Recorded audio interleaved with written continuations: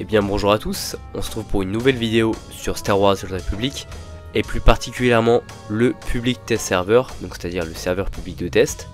Donc qu'est-ce que je fais là? Puisque dans ma dernière vidéo j'avais dit euh, oui ce sera probablement la dernière. potentiellement la dernière vidéo de cette chaîne YouTube à propos de Star Wars The Republic. Bien finalement ce n'est pas le cas comme vous le voyez aujourd'hui.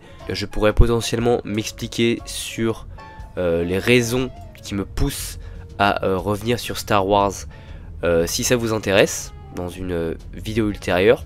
Donc majoritairement il y a eu pas mal de nouveautés récemment du, côté de la communauté anglophone euh, avec notamment Swatter Central et euh, Nation qui ont fait pas mal de vidéos au sujet du jeu, au sujet du futur du jeu et bah, ça m'a quand même pas mal intrigué et puis il y a également la news que Eric Musco a pris le relais au niveau de la direction du jeu. Donc Eric Musco, pour ceux qui ne savent pas, c'est une personne qui a été dans le passé community manager euh, pour le jeu.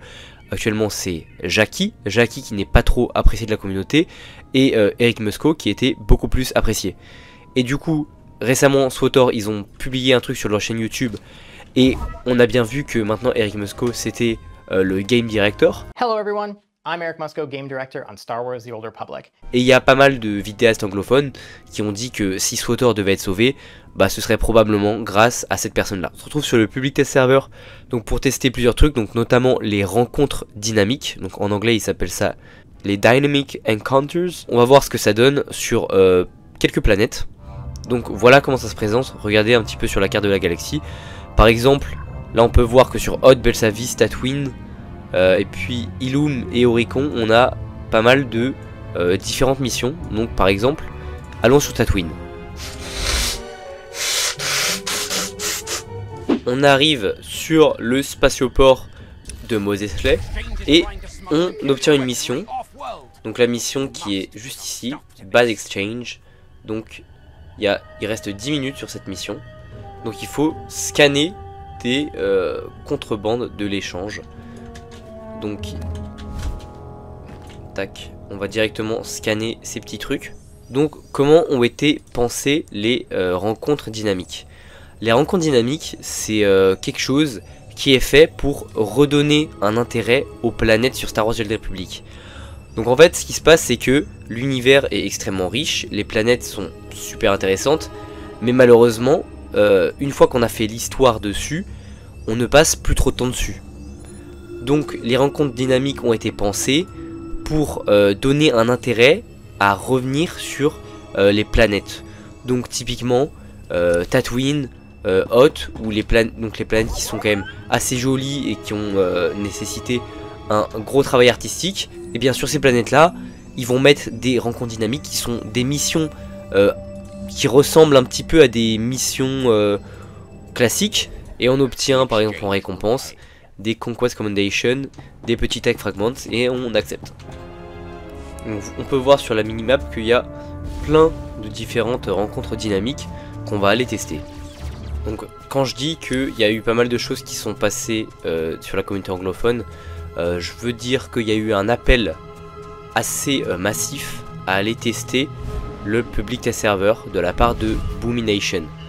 Donc en fait il a publié une vidéo est-ce que c'est de notre faute si Swator est en train de plonger. Et euh, Central a réagi et en gros, et eh bah, tout le monde s'est un peu mis d'accord. Enfin, que c'était pas trop possible que les gens se plaignent euh, si ils s'étaient pas abonnés et que euh, bah, ils testaient pas le, le public test server. if you still love it, you still want this game to do better. You want these dynamic encounters to be cool. Like right now, the biggest question is, well, what are the rewards for these? But I think it is a good idea for all of us to get onto the PTS and start testing the stuff out when this part of 7.6 goes live on the PTS. I think that'd be a great idea. Donc ici, la mission, c'est de, c'est de repousser la chaîne cachée. Donc, alors Kira Carson niveau 50, ça, ça me plaît bien. Let's go. Let's go. Vous voyez que l'objectif évolue en même temps que je tue des ennemis.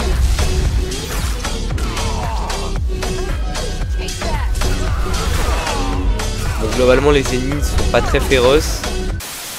Donc je vais donner mon avis rapidement sur euh, ces euh, rencontres dynamiques. Donc je trouve que le concept est très bon et c'est vraiment le genre d'idée que j'ai envie d'avoir. euh, de la part des développeurs et le genre d'initiative que je trouve qu'il est cool parce que globalement ils ont compris que euh, l'univers était très riche et que bah c'est ce qui faisait la, force de SWTOR, que les planètes étaient vraiment cool. Ils essayent d'exploiter cet aspect du jeu vraiment euh, comme c'était présenté dans la vidéo des devs, c'est-à-dire tu te promènes sur Tatooine et là tu as une rencontre dynamique qui apparaît avec des, impériaux qui arrivent et tu dois te battre ou alors tu dois euh, résoudre une mission, je trouvais ça vraiment très bon. You just finished up a mission and you're kicking back in Anchorhead Cantina when you see a dynamic encounter pop up nearby in your map. You hop on your speeder and jump into the action. Imperials are attacking. Some other Republic players join in with you, eventually killing enough Imperials to bring out the Imperial leader. Mais actuellement, comme je l'ai testé sur le PTS, il y a certains euh, aspects que je pense qu'il faudrait retravailler. Donc déjà, l'aspect d'exploration n'est pas trop présent. On nous vendait un peu les rencontres dynamiques comme euh, ça pop aléatoirement, etc. Sauf que actuellement, tout est marqué sur la carte de la galaxie. Donc c'est-à-dire que bah, tu sais à l'avance déjà qu'il va y avoir des rencontres dynamiques. Donc en fait, ça rend la chose pas très dynamique. Euh, également, ça ressemble trop aux missions classiques quand tu arrives sur euh, une rencontre dynamique et que tu dois scanner des caisses, bon, je trouve pas ça super intéressant.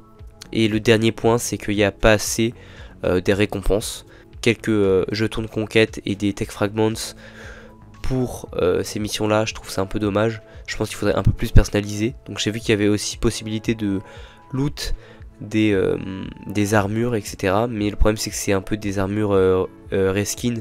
Donc c'est-à-dire que c'est des armures qui ont déjà été modélisé en jeu et c'est simplement euh, les mêmes armures dans des couleurs euh, similaires. Donc c'est un peu dommage, mais je pense que vraiment en rendant la chose un peu plus dynamique, euh, en innovant au niveau des missions et en mettant quelques récompenses en plus, c'est vraiment un super système et un super concept. Après peut-être que j'ai vraiment pas eu de chance au niveau des rencontres dynamiques que j'ai fait, parce que sur des vidéos anglophones, j'ai vu qu'il y avait en fait une assez bonne diversité des missions, mais en tout cas dans celles que j'ai faites, et dans ce que j'ai testé, bah, j'ai eu des missions un peu euh, répétitives. Mais apparemment, il y a d'autres missions qui sont aussi plus intéressantes, mais que j'ai pas encore eu le temps de tester. Et également le nouveau boss qui est sorti euh, sur le PTS, et je ferai potentiellement une vidéo là-dessus.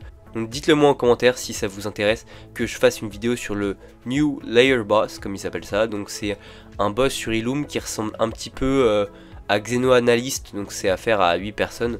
Donc n'hésitez pas à me donner un retour également en termes de news, donc Star Wars The Old Republic pourrait arriver sur console. Donc qu'est-ce qui peut me faire dire ça? Donc c'est la lettre du producteur exécutif qui est arrivée le 20 septembre, donc il y a un peu plus d'un mois, pour le troisième trimestre 2024. Donc voilà ce qu'il dit à la fin de son poste. Donc déjà, euh, il parlait du programme de démarrage Mac pour SWTOR. Donc SWTOR va avoir un support pour le Mac, c'est officiel, les tests ont déjà été lancés, et ce que dit à la fin euh, c'est cela suit directement l'un des objectifs principaux dont j'avais parlé quand SWTOR a rejoint la plateforme Steam et que nous sommes revenus dans la région APAC. Nous allons continuer à développer SWTOR sur de nouvelles plateformes et le proposer le plus possible à d'autres publics. Pour moi cette phrase veut vraiment dire qu'ils vont élargir l'horizon des gens qui jouent à SWTOR et que bah, ce serait possible d'avoir un jour sur PS5 Star Wars Republic. Voilà, c'est à peu près tout pour les news sur Swotor. Donc je suis désolé si la vidéo est légèrement bâclée, que j'ai pas pu tout tester, etc. Euh, bah voilà, je suis un peu en manque de temps euh, pour publier cette vidéo. Euh, donc j'aurais aimé travailler plus le montage, etc. et du coup, je m'excuse là-dessus. C'était en Envivius et je vous dis à très vite pour une nouvelle vidéo.